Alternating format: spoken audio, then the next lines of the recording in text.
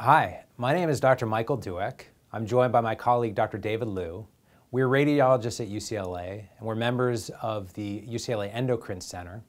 And today, we're going to talk to you about a procedure that we perform at UCLA called thyroid RFA, or thyroid radiofrequency ablation. And we thought the best way to handle this would be to answer 10 of the most popular questions about thyroid RFA. Uh, so let's get into it. So question number one, Dr. Lu, what is RFA? Thank you, Dr. Douek. RFA stands for radio frequency ablation. What it is is a minimal invasive technique to dis destroy tissue, but through a very small needle electrode. You can see this is about the size of a regular intravenous needle. Through this needle, a generator generates alternating electrical current, and at the very tip of it, it excites the molecules in the tissue and producing heating, and that's how the tissue is destroyed. So before we talk about how we can apply RFA in the thyroid gland, we have to understand a little bit about what a thyroid nodule is. So a thyroid nodule is a bump or a lump or a growth. These uh, terms are used interchangeably that we can either see by ultrasound or we can feel by physical examination in the thyroid gland.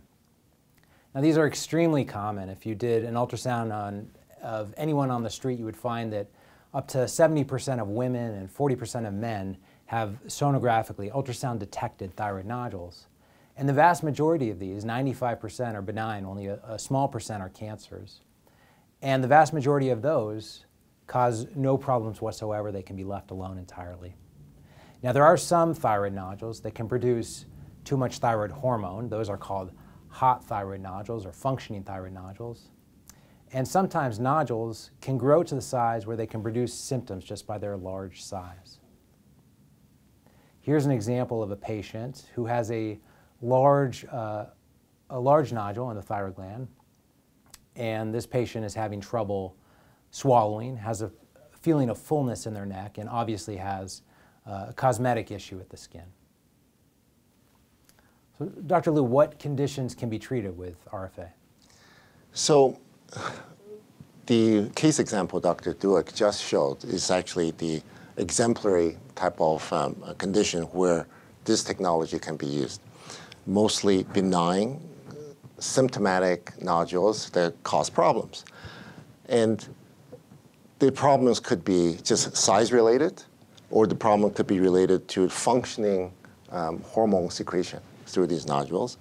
And the idea here is just to destroy enough tissue so the size problem can be taken care of and destroy enough tissue such that the hormone secretion could be lessened to the point where it's no longer a problem. So these are for benign nodules.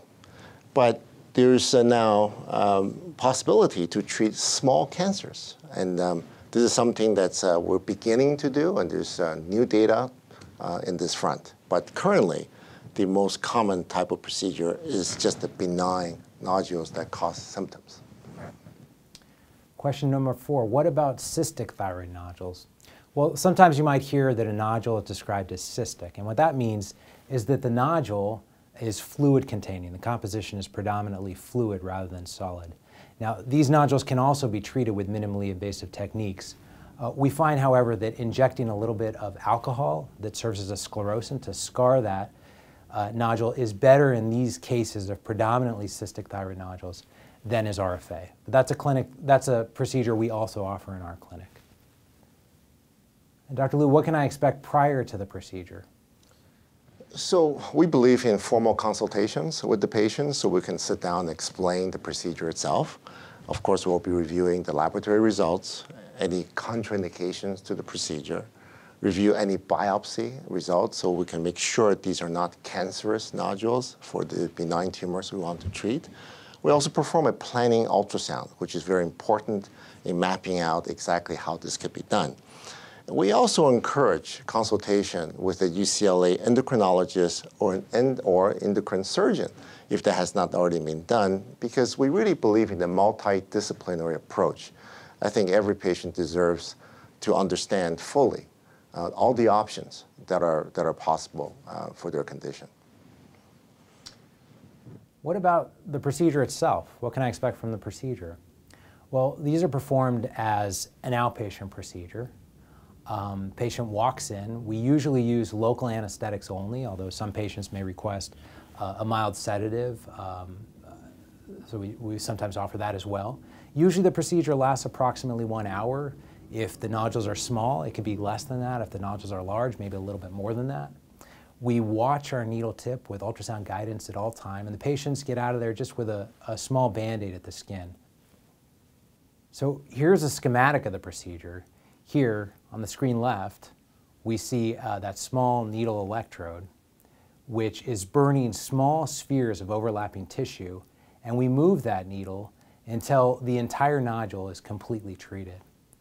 On the screen right, this is what we're looking at uh, during the procedure. So this is an ultrasound image, and here's our needle, and we can see this echogenic response, this brightness at the needle tip as the, tumor, as the lesion is ablated that shows that the treatment has been adequate, and then we can move the uh, needle electrode to the next spot. So Dr. Lu, what about after the procedure? What can I expect? So first of all, immediately after the procedure, um, there might be very, very minor discomfort, but most patients have no limitations to activities whatsoever. And in terms of the size of the nodule, it will gradually shrink.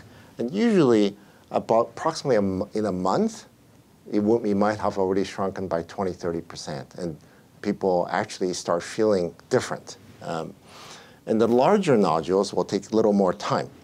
This is actually a schematic graph of the, of the volume reduction over time.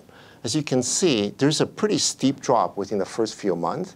And by approximately six months, there's actually a, approximately 70 to 80% already reduction in size, uh, volume of the tumor. And this is accompanied by what people would rate as their cosmetic score, in other words, how they feel about their neck, and, uh, and of course, any symptoms and the symptoms typically just completely go away. So yeah, here is an example of a patient before and after the ablation. This happens to be a very large nodule, and, and after about six months, this is the level at which it will look. Question number eight, will I have to take thyroid medication after RFA? Well, this is one of the main advantages of radiofrequency ablation is that we only target abnormal tissue. It does not affect the background uh, thyroid uh, gland itself. And so, so the, the simple answer to that question is no. You will not have to take supplemental thyroid medication after the RFA. We note here that some patients have pre-existing thyroid conditions, such as Hashimoto's thyroiditis, where those patients already have a thyroid that's not working uh, to full capacity. And so those patients, just as part of the natural disease process, sometimes have to go on to take thyroid medication, but that's not a result of the procedure itself. And question nine, what about hot thyroid nodules? So the hot thyroid nodule is a, is a nodule that produces extra hormone, and uh, that can cause you know, uh, symptoms. So in this, in this type of situation, traditionally it's surgery or radioiodine therapy to destroy those nodules. But RFA has been shown that it can be effective in decreasing the hormone secretion such that the patient can have basically what we call a euthyroid state, meaning there's no excess hormone secretion. And this can be successful in up to 80% of patients with small nodules, and for larger lesions, up to 50% uh, success. And a related topic, what about uh, cancerous nodules? Uh, this is something that we're only beginning to explore. Um, this particular patient, for example, has a small cancerous nodule in the thyroid, and this patient is not eligible for surgery for, because of medical conditions. So we were able to ablate this nodule the same way we would, we would ablate a benign nodule, and this is a year later. The, the nodule literally completely disappeared from the thyroid. And there's some early data showing that this could be a way to treat very small cancerous nodules in the thyroid but it is something that's uh, certainly have to be done after a full discussion with the surgeon, with, your, with the patient, and um, before we can do something like this. And our, our final question, question number 10, which is actually three questions, but we thought top 10 questions sounded better than top 12 questions, but, um, but very briefly, is RFA safe? Uh, question number one. So the answer is yes. RFA is shown to have a very favorable risk profile. Every procedure comes with some small risk, but RFA has been shown to have very small risk, very low risks, and every potential risk is discussed at length with the patient during their clinic visit. Another question that comes up quite, quite commonly, will it leave a scar? The answer is no. The puncture site closes quickly within days after the procedure and it leaves no scar. And finally, perhaps the hardest uh, question of this entire presentation, will my insurer pay for this? And the answer more and more frequently is yes. We've had good success, especially in the last year or two, at getting insurers to pay for this procedure as they recognize its efficacy and its safety. Uh, but that said, our team works with every patient's insurer to make sure that this is covered prior to scheduling the procedure. So, in conclusion, thyroid RFA is a minimally invasive alternative to treat certain thyroid conditions. It's proven to be effective and safe. It leaves no scar and does not affect thyroid function. Uh, for any patients interested, this is the contact information for our clinic, and we thank you very much for your attention. Thank you.